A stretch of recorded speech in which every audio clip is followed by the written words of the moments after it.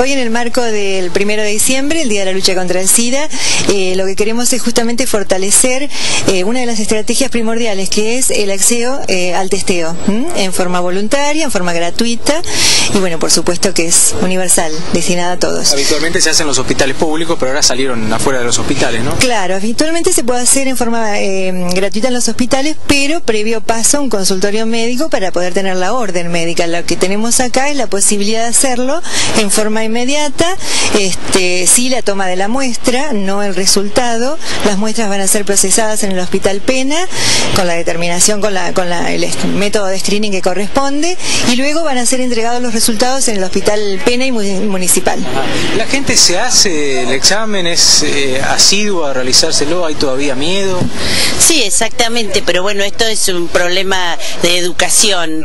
Eh, de todas maneras, el año pasado se hicieron eh, más de 300 exámenes, así que pretendemos que este año con dos días eh, aumentar. Eh, varios transeúntes que pasan en este momento, bueno, preguntan y la verdad que a toda la gente le, cae muy bien poder hacerlo y que después pueda recibir su informe eh, en la institución como corresponde. ¿Cómo se está en Bahía y en la región en relación a los números del HIV? Eh, bueno, en realidad Bahía no difiere del resto, ¿no? O sea, vos habrás estado escuchando que a nivel mundial por allí la tasa de infección en algunos países ha bajado el 17%. Está bien, contrasta con aquellos otros países donde, bueno, la situación es muy desfavorable y, ha aumentado, entonces como que opaca por ahí esa, esa buena noticia. Este, también en Argentina hay una baja en la tasa de infección y también en la baja de, mortalidad. Eh, esto debido a, las terapias antirretrovirales que son, que son muy eficaces. Pero bueno, tenemos algunas asignaturas pendientes, ¿no? Como por ejemplo fortalecer el tema de la adherencia para que todos tengan accesibilidad a ese buen tratamiento. Eh, acompañar también esa adherencia con, con la parte nutricional, porque por allí tenemos la suerte de que en el país no falta medicación, pero este, lo que tenemos que tratar de que no falte alimento.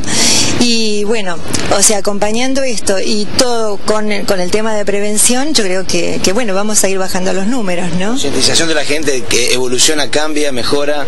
Sí, se, se, está trabajando el tema de prevención, se está trabajando el tema eh, de educación en las escuelas, con los jóvenes, eh, en talleres también comunitarios, con la gente de los barrios. Y yo creo que la gente va tomando conciencia. Eh, de hecho, en la campaña anterior tuvimos la prueba, no pensábamos que iba a venir mucha gente y como decía Susana, se testearon 379 personas. Así que bueno, esperamos que en estos dos días la gente piense que no es un problema de un grupito, sino que es un problema de todos, que esto está instalado en la sociedad, que no tengan miedo, que se acerquen.